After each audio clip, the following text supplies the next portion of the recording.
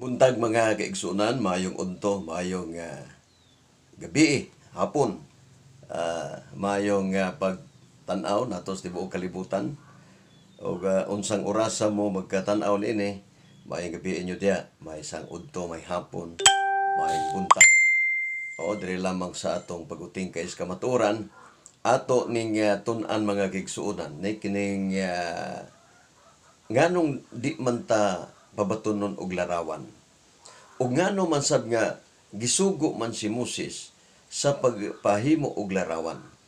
Munay atong tun-an mga kapaglaom, no?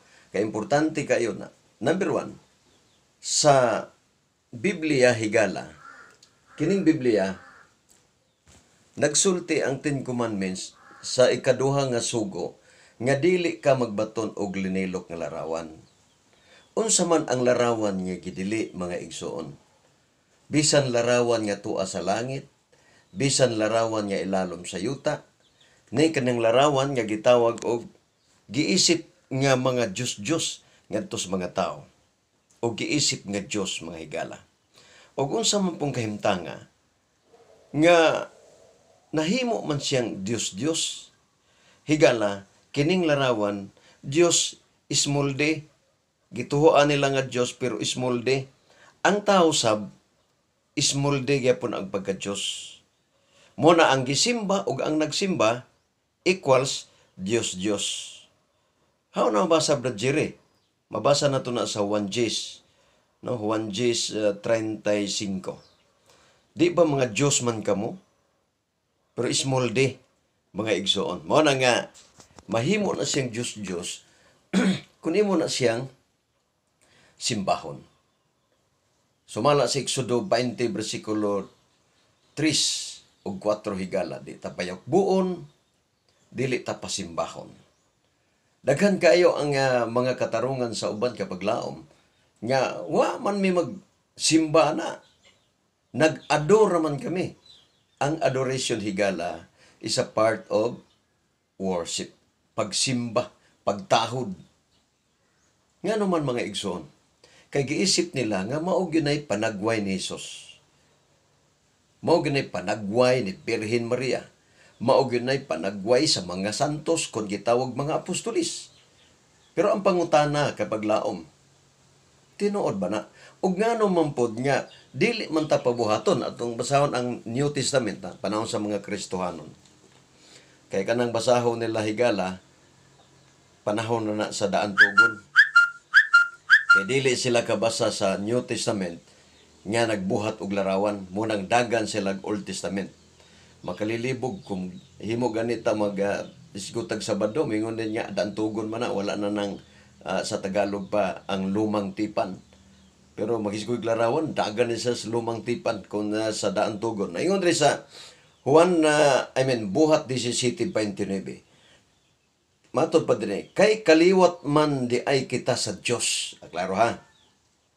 Nan dili nato dili nato paghunahunahon nga ang pagka Dios ha? ang pagka Dios nahisamag larawan og salapi og bato nga minugna lamang sa kabatid ug sa paghanduraw sa tao.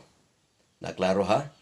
Klaro mga igsoon niya nganong dili ta pabatunon og larawan paghimo tungod kay kaliwat kita sa Dios kun kaliwat kita sa Dios kapag laom dili ta magbaton og larawan. Ngano man unsa may mahitabo? 8 20 uh, I mean 30 ang Dios wala lamang manumbaling sa maong mga panahon sa kaburong. Apan kamos nagasugo o ang tanang mga tao bisan diin sa paghinulsol. Ato di ay hinulsulan. Nagingon ang Marcos ah, sumala sa Marcos mga igsoon, Marcos City 8, maayo gayud ninyong pagkalayo sa kasuguan sa Dios kay inyo mang gipakadoktrina ginahuna ang uh, sugo lang sa tao higala. Sugo naman na kanang pagbatunog uh, pag paghahimog mga linok larawan ni Virgen Maria. Na sa kuno na mga igso no. Anang sa tao na na mga higala. sa tao na, na wala magsultis Kristo mga apostoles nga maghimo og larawan ni Birhen Maria. O. Ngano man niya dili man ta pabatunon tungod kay kaliwat kita sa Dios. O kung kaliwat kita sa Dios higala, nagpasabot mga kaigsuunan, kay kaliwat man ta sa Dios, dili ta magsimba, magbaton ug maghimo og mga linilok nga larawan. Nga giisip mga higala nga mga Dios. O. Jire, na, di ba, magpakudak man sa ta? Ha?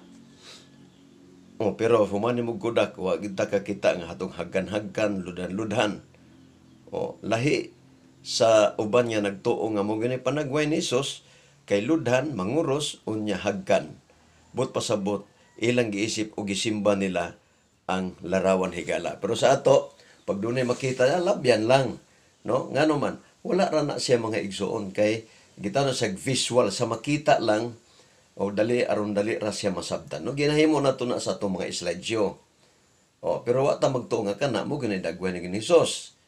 Kay nahibaw naman ta nga kana mga artista. Pero gigamit na tong visual para nga mahib dali ra masabtan ang mga ilustrasyon, no? Nga na, na pero kanang pagbaton nga isipon nimo nga musud simbahan, imong hagkan, imong ampuan, o di naman ta kalimod ana mga kapaglaom kay mao mo ginagay gikan beta diya. Mahimo gani mag-ilog pa gani ta og uh, halok anang tiil ni Kristo kanang tiil ng larawan niya atong giisip nga si Kristo. Sa so, magkabaan ka mo ni ana kay larawan ka na ni Kristo. Aki sabi nakakudak. Bita kay ko kog kinsa. Kaya niadtong mga panahon nila, way nakakudak sa panagway ni Kristo. Wala. Wa man gani sila mo tuo personal. Na mangudak na hinuon sila. Way mga kudak. De modo kapag laom mga igsuon, mga pinangga. Kay wa man bawal ang atong mga gihimo nga mga larawan karon. Ha? Bawal na mga igsuon. Dili ta magbato niya na. Nalagi na aman lagi mga larawan lagi nga naa sa Milir diya sa Cebu.